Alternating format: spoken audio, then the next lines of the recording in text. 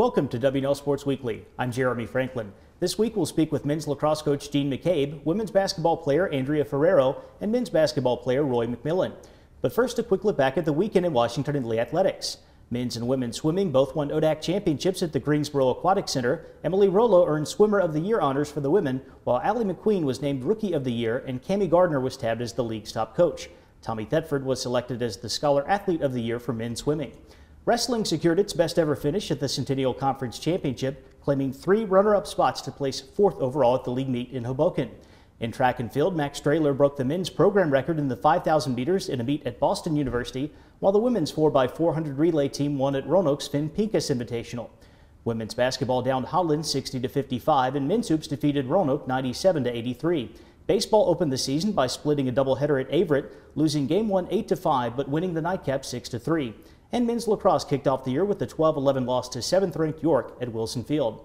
With me now is men's lacrosse coach Gene McCabe. Gene, welcome back to the show. Thanks for having me back, Jeremy. You had a nail biter against the Spartans on Saturday, a rematch of an NCAA tournament game from last year. What kind of positives do you pull out of the season opening performance? Well, obviously you want the win, and we were disappointed. Uh, I think we uh, left some things the, on the table at the end, and uh, but so many positives. You know, we that was the team we lost to, uh, as you mentioned in the NCAA tournament, 12-5.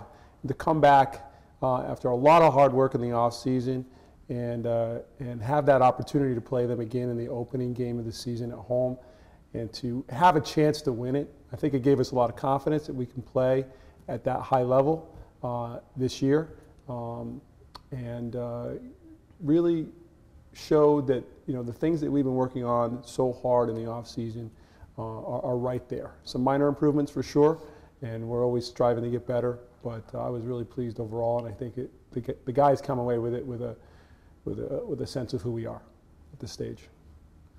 The Generals had to replace a big senior class from last year's ODAC championship team, including three All-Americans. How are some of your younger players responding as they look to step into those roles?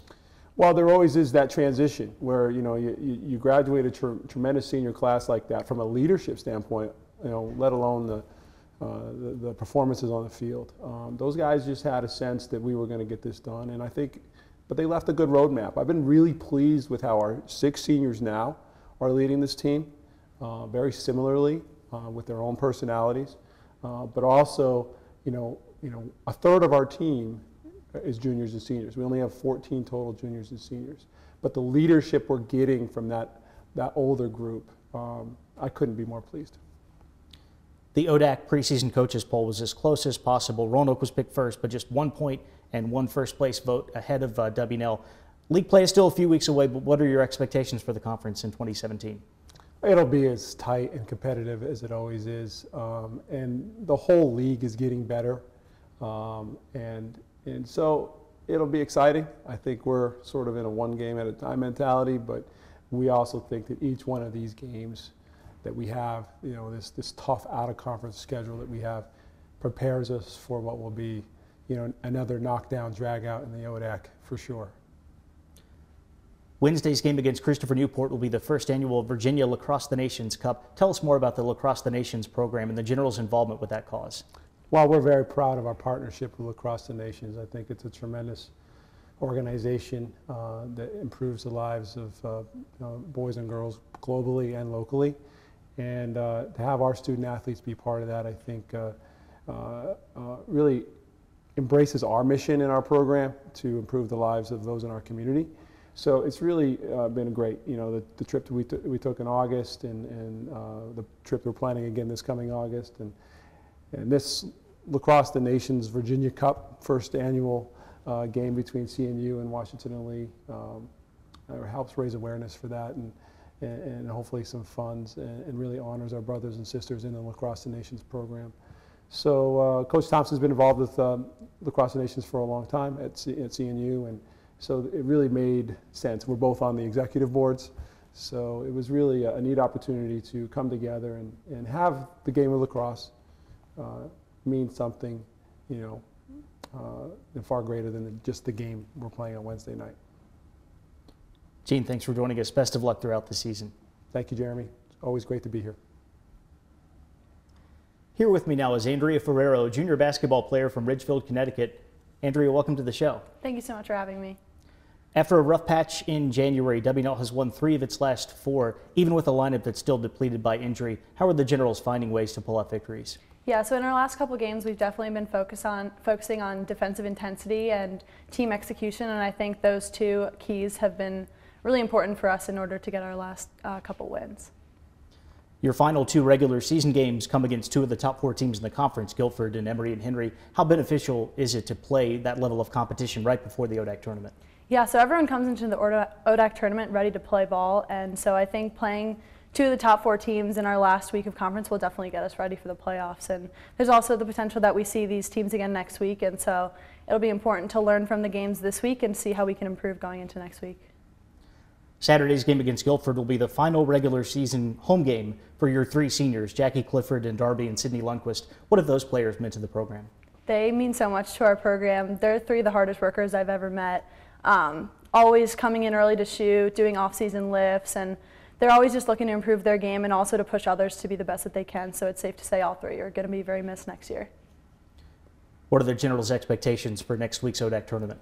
Uh, we're expecting to come into the tournament really strong. We've shown that when we play together, when we play hard, we can run with anyone. And so I think going into the tournament, we have a clean slate and we're looking to make some noise and make a run and do really well. So we're really excited about it.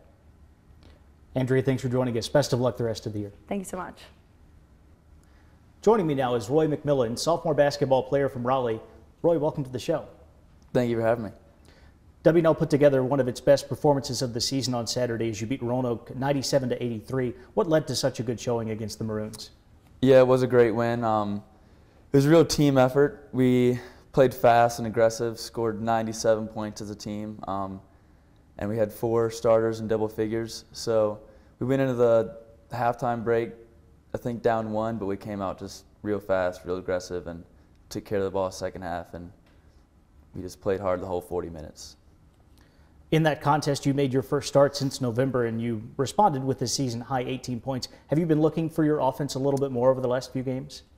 I wouldn't say so, but definitely just taking the open shots you see, trying to be aggressive but not forcing anything.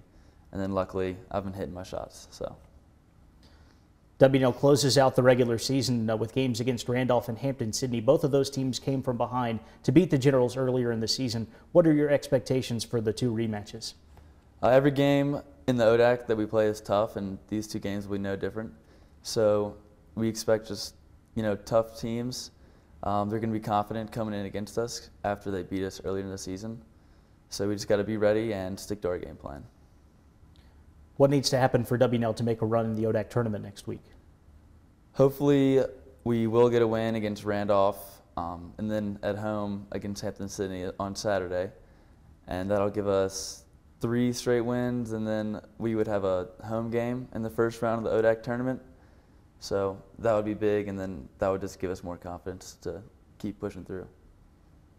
Roy, thanks for joining us. Best of luck with the rest of the year. Thank you for having me. It's time now for a look at the upcoming weekend. Women's tennis will open up the season with home ODAC matches against Bridgewater and Roanoke. Women's lacrosse also begins regular season play with a trip to longtime rival Mary Washington. Baseball heads to Atlanta for a three-game series at Emory, which starts on Saturday afternoon. Men's and women's track and field will compete at the UCS Invitational in Winston-Salem. Basketball wraps up the regular season at home. Women's hoops takes on Guilford, and the men's team will face Hampden-Sydney. Baseball plays a Sunday doubleheader at Emory, and men's lacrosse travels to 10th ranked Denison. For W&L Sports Weekly, I'm Jeremy Franklin. Thanks for watching.